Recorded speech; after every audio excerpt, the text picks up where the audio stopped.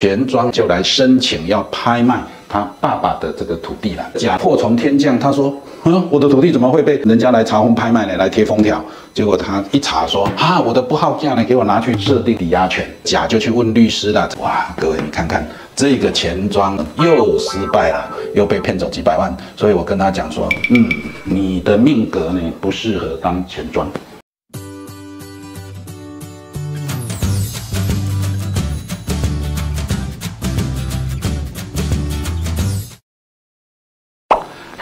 各位同学好，现在人家说哈，养儿防老，这个防就改成妨碍的防，养小孩呢会就妨害我们老人。就是有一个儿子，就是说性低的压早，性格也不好，蛮宠他的，因为他是一个独子。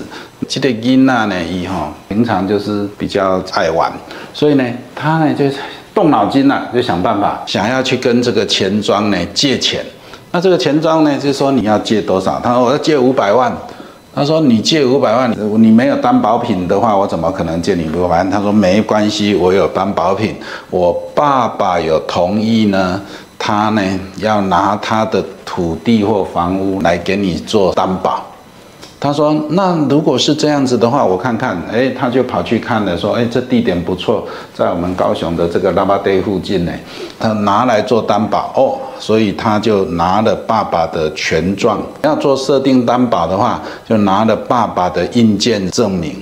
他骗他爸爸说呢，我要买车子，他用代理爸爸的方式，用爸爸的名字写了委任状，偷拿爸爸的印鉴去申请了这个印鉴证明。”所以呢，他拿了这个权状，又拿了爸爸的印鉴证明，就来给这个权庄设定抵押。设定抵押的时候，权庄就给他设定多一层，就是设定六百万。那其实就是。给他五百万，那五百万还要扣掉手续费、介绍费，还有预扣三个月的利息，这样子，所以他拿走的大概是四百出头万啊。钱庄借钱是如此，那么他借了以后不到两个月就不来还利息了。那钱庄也没再怕他，因为钱庄能赚利息就赚利息，不能赚利息，他觉得这一块地当初还有千万，那实际上拿走的也没有这么多，他没有再怕他，所以钱庄呢就来申请要拍卖他爸爸的这个土地了，你呢就对于甲的这个土地呢申请裁定拍卖抵押物，就来查封要拍卖甲的土地的。甲呢祸从天降，他说。嗯，我的土地怎么会被人家来查封拍卖呢？来贴封条，结果他一查说，啊，我的不好价呢，给我拿去设定抵押权。那这个情形的时候，各位，这个甲就去问律师，这个律师就教这个甲说：“你来告你的小孩偷拿你的钱赚，然后呢骗你去领印鉴证明，还有偷拿你的印鉴章，就告他亲属间的窃盗。”那各位呢，我现在要问你哈，偷拿别人的东西呢，是偷拿别人的东西判的比较重，还是偷拿爸爸的判的比较重？不是我要教你们去偷谁的亲属间的窃盗呢？这个刑法三百二十四条呢，可以免除其刑哦，判罪但免除其刑，不用罚他，甚至于如果事后和解了，这是可以告诉乃论撤回告诉的。那如果你事后有原谅他，那也可以获得法院的缓刑。那各位缓刑的话，也可以拿到良民证啊，对他往后的出国移民、考法官都还不受影响呢。这个爸爸一听就是决定告他的儿子窃盗，爸爸就说我很生气，所以我不能原谅我儿子。法院就判决说他窃盗，给他判个三个月。那如果判个三个月三十天，一天就一千块，所以呢，各位就罚九万块，好，九万块。就这个普龙宫的孩子来讲，罚九万块，缴罚金也是他妈妈拿出来缴啊。判刑了之后。那么这个甲呢，就跑来法院提起确认抵押权不存在，说我没有要拿这个土地来跟我儿子做保，所以要求涂销抵押权，然后你这个钱庄呢，不可以对我的土地来加以拍卖。那各位呢，法院在审这个案子的时候呢，就把那个钱庄找来说：第一，甲有没有亲自拿他的权状？还有印鉴证明来给你，他说没有啊，他的小孩拿来的啊。那如果他没有授权他的小孩，他怎么可以拿到他的权状跟印鉴证明？所以我相信这个是爸爸有拿权状跟印鉴证明给小孩。结果法官说，人家讲说他已经告了他的儿子窃盗，所以是什么？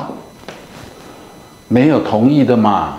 所以你在给人家设定的时候，在银行都要对保啊，对不对？银行都要对保，都要问一问是不是你本人亲自愿意来提供担保物作为物的担保嘛？那如果你是要做人保，你人要来做连带保证人，那么银行要核对你的印章，核对你的意思，你愿意今天来做保吗？哎，愿意啊！那各位，这个动作叫做对保，在银行在放款的时候，对于保证人要确定他是不是愿意拿他的房屋土地来做保。如果是我们本身拿自己的房屋土地本身要借钱，我们确实也是要核对你本人。如果是第三人要来做保证，这个爸爸呢要拿他的土地来跟孩子做保，是要做对保的动作，所以法院就。问那个钱庄说：“那你有跟他对保吗？”他说：“没有。”现在呢，他的爸爸又主张是被他儿子偷走，而他的儿子也被判罪了。啊，那甚至于说他没有判罪而判免刑。那法院经过这一番调查，他儿子也承认说：“我没有得到我爸爸同意偷拿的。”啊，但是亲属间呢，窃盗免刑，只要有法院这个证明。但确实你也没对保，而且叫你来问你也没对保，法院就判决这个抵押权不存在，要涂销，也就是他钱庄不能拍卖假的土地了。所以各位呢，钱庄就白白受损。那他现在只能回去跟这个蒲龙公的囝请求。可是各位，他这个囝呢，本来姓陈或姓林，但是他已经改姓做蒲龙公，他就是没钱才会去钱庄借钱。所以钱庄后来回头呢，告这个蒲龙公，要付钱的时候，他根本就没有财产。钱庄就损失了将近四百多万的钱呐。做钱庄呢也是有风险的哈，法律的制度是如此的。事情发生了以后，隔了一年多，钱庄呢又出事了。他为什么又出事呢？他说又是同样的情形，有别人来跟他借钱，他也拿他爸爸的权状跟印鉴证明来了。我已经被骗过了，所以呢，我就特别的小心。那我就问他说：“啊，你为什么又来？”他说：“我又被倒掉了。”我为什么又被倒掉？法院又判我输了。那我说：“那为什么判你输？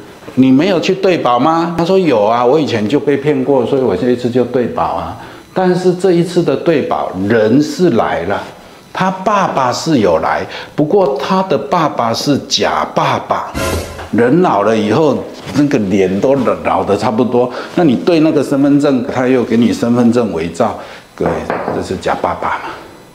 所以真爸爸出来了，说我长这个样子，这个笔迹笔迹鉴定根本不是我，他拍的那个录影录影那个相片又也不是我，我这里有一颗痣，他都没有呢。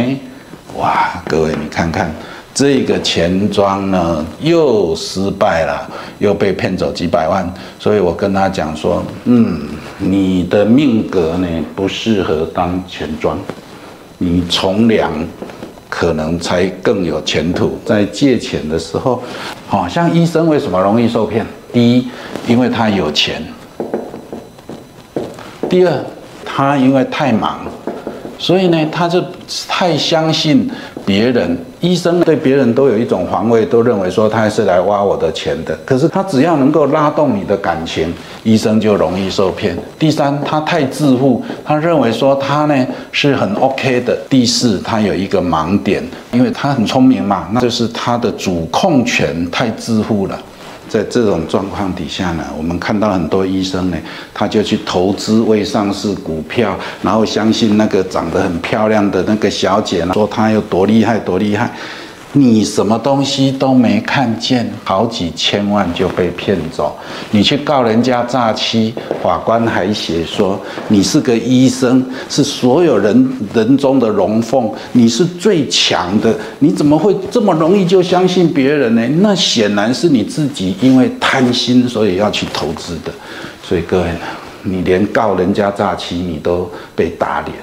这个专业上的这个问题，我们东西要看得到，而且你对于风险的这个评估，在我们的教育里面，对于风险的评估，还有对担保制度的部分，你不够内行的时候，其实不应该把这么大的钱呢，这么容易就出去。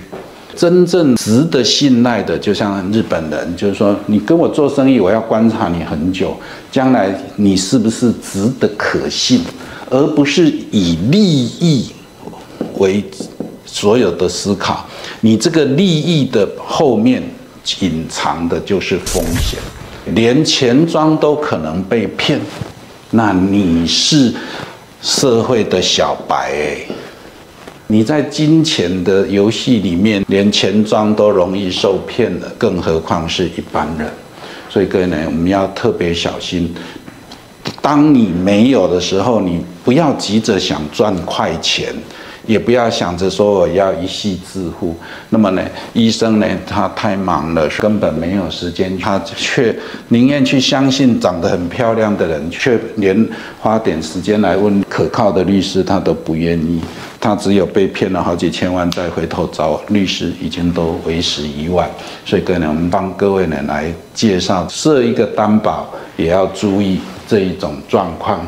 我们如果没有钱的话，你们不用害怕。跟爸爸演一出，是不是就可以诈骗钱庄呢？所以啊，这个东西呢，我们都要非常小心了哈。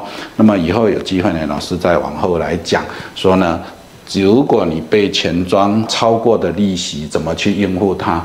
那么钱庄呢，都是很认真在学习的。那我们的小白呢，就是很认真的不学习，有时候接触很多的案件，真的是心中啊有万般的无奈了哈。那么，我们希望每一位在金钱得来不易，守成更是为难，请各位要特别注意这样的一个风险。